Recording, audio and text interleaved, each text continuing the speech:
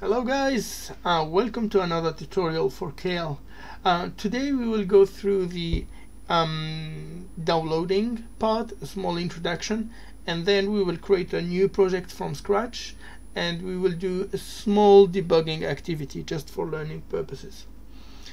So um, what is Keil? So the Keil is an IDE and it's a quite a really performant um, software. So it does it do editor. So you can have a text editor within Keil. It's not the best one. There's much better one but you do have this on top of all the things that it has. Also it makes the compiler and the assembler. So you can do the compiling. You have your file ready even to download with to, to load with other softwares. And more than that it does do also the linker. So if you have a different model for your soft software it can link them together so you, you do have here a real um, package that make a lot of great things. Finally it do also the loading and the debugging. It means that you can make your code and immediately load it in your software. Also you do the debugging. So for the for people who are already used with the Arduino microcontroller you can do your upload download upload your code in the microcontroller but you you, you don't know what's happening inside however with the Keil you can make debugging.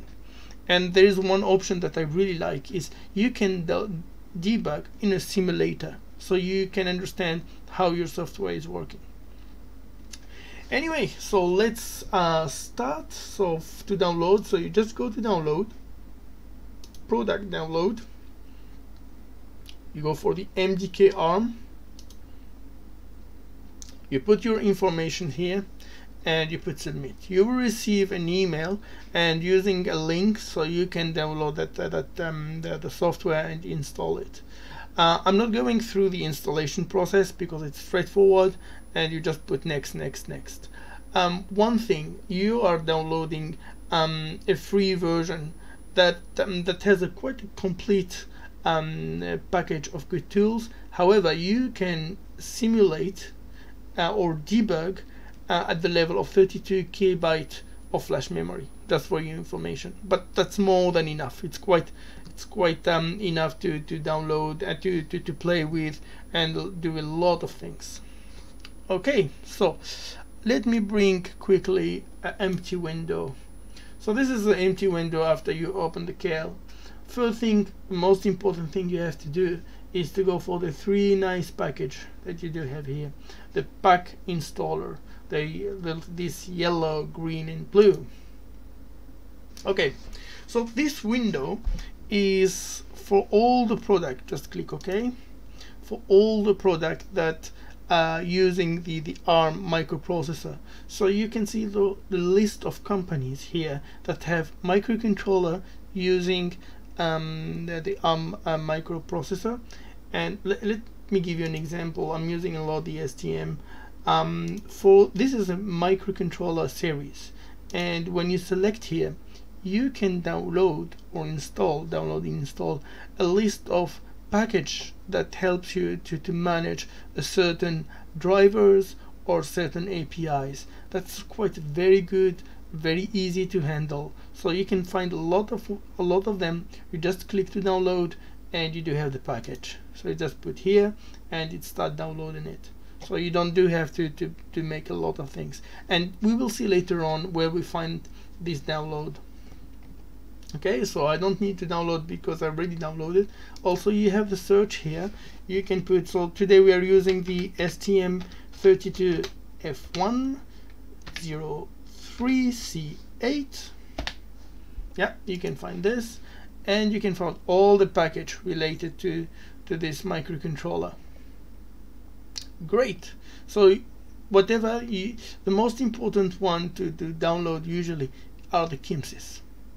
Always go for the CMSIS for your microcontroller. And then the other one are I think mostly optional. Good.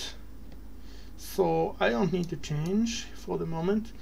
And okay we downloaded our package. Let's create a new project. So first step is the new vision project Um, one advice, so when you create a new project here, for example, it creates also a list of file with, with it. So better to not lose the track, to go here, create a new, um, a new folder. I'll call it a blink because we will make small tests to see how we load and debug a microcontroller. I'll call it here blink2 so blink just STM32F1 for traceability. And as you can see the, the, the, the, the package that I downloaded previously I'm using right now the STM and the Texas so if I put my STM32F1 so I still have the whole series and fortunately I remember it and C8 and okay so here's short description about um, this uh, microcontroller. Good. So when you choose your microcontroller you'll have later the list of software you want to download within your project. For today and mostly for all the projects we will be going on I'll be downloading only two ones. The first the core one. The core one is where you have your interrupt and the most important data related to your microcontroller and the startup. The startup is related to the um, clock, the clock speed when your microcontroller will be starting at the first time. Doing this, so the core in the CMSIS and the startup at the device. Just put OK. Great! We have our project now. So um, just for traceability also, I don't put target so I put always STM32 F1 or the name of the microcontroller I'll be using I call this one app. And let me add my main sorry. So to, to add your program you just go add item to the group. Choose C of course and main Great, so now we have our editor ready, but before doing that and start coding, one step is to prepare your target options. So this is the magic one. Step one, check for the target tab. Here it says that the clock speed of the, the, the, the, the microcontroller, the internal clock speed is 12 megahertz. That's wrong and it's not big problem for the, the microcontroller itself but it can when you do the simulation not the debugging on the microcontroller the simulation directly on using the Keil that can create some problem. So I'm putting here 8 megahertz which is my internal my internal clock. Next. Next here this is the debugging environment. So um, I will be selecting this one later on but for my debugging tool for me would be the ST-Link debugger. And I will need to add one special thing is to reset and run. This is when we load the program in the microcontroller the program is reset automatically which is quite a great thing if you have um, a tiny uh, board. Okay the last and final one, the one that I explained in a different video. So here, to, to set up, because there is a problem in the system, please see the video to, to see how to, to, to clean it. F13C8. And for the this one, the ARM uh, STM DL. Okay, good. Great, so now we have everything set up. Um, so to to go forward, the first step I'll be doing here, I'll be adding the just a library for the microcontroller. You can do it just insert include this file. This file include all the um, registers. So if we go to open the document, this is coming with the sim, uh, CMSIS and the device. Here you do have all your registers address. So you don't need uh, to to waste time looking for the register you just name them and it's quite much faster. For the program I'll be already prepared the program. Before that let me share with you the blue pin. So this is what they call the blue pill. It's a really tiny small very cheap very cheap microcontroller. I love using it so it's around two to three boxes it has um, um, clock speed up to 72 megahertz and a lot of options. So I'll make a tutorial just for this one only. So today there's a small program I'm be doing. So we have the PC13 LED we would like to make it blinking. So let me copy paste quickly the program. Just to, to go. So we don't need to to to go for the details but as you can see here so I just copied my program and it shows me there is a mistake on it. This is the editor part, text editor part of the program. So here this I created a delay function without declaring it in the top. Doing this. Great. So we do have our program working. So before um, doing any compiling, the first thing to do is to save. And then this is the compiler. Yeah, it runs with one warning here, as you can see. And this saying that if we look for it warning the last line ends without a new line. So if I go here and add a new line save upload zero warning. So just for, for the information. Okay our program is ready. Looks maybe fine let's do one thing so first we go here and for the um, debug options and let's use the simulator to see what's happening in our system. We are not loading in the microcontroller, we are using the simulator. So to debug, we click on that, that button, the D with a loop. Good. So you have seen the error message saying that it only 32K. So this is already a debugging environment. Within this one, so the, the target is to check if PC13 is blinking. Let's go here and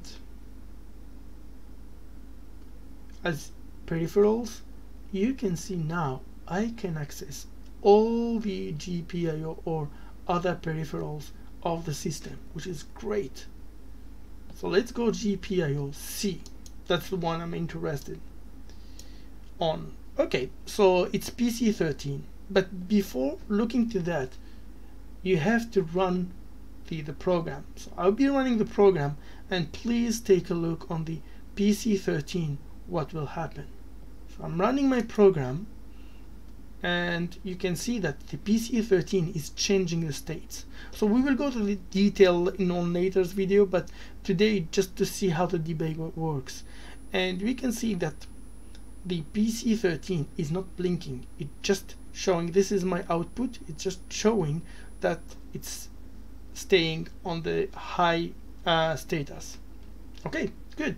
So there's something wrong in my program so we can see that it's not blinking when I go back from the debugging mode clicking on the same button the, the, the issue is here.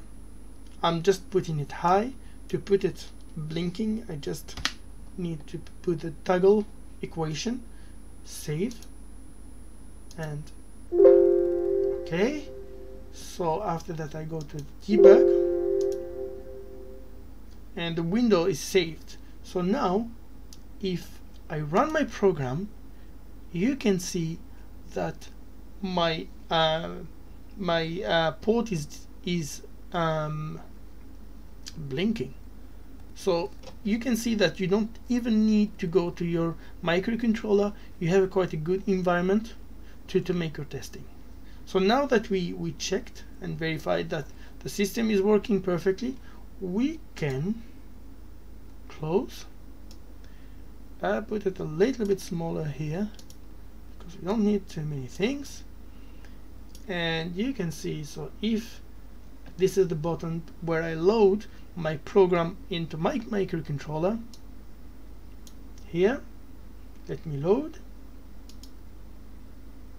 We do have a blinking LED so that's perfect. So let's add a small thing to that. Let's debug live. So first let's put here this is a stop debugging point. So if I go to the debugging mode ah there's one thing I need to change before. So here I'm still in the simulator mode. First if you would like to you'd like to debug in the microcontroller itself you have to go to debug and use the ST-Link debugger. Okay good save and debug.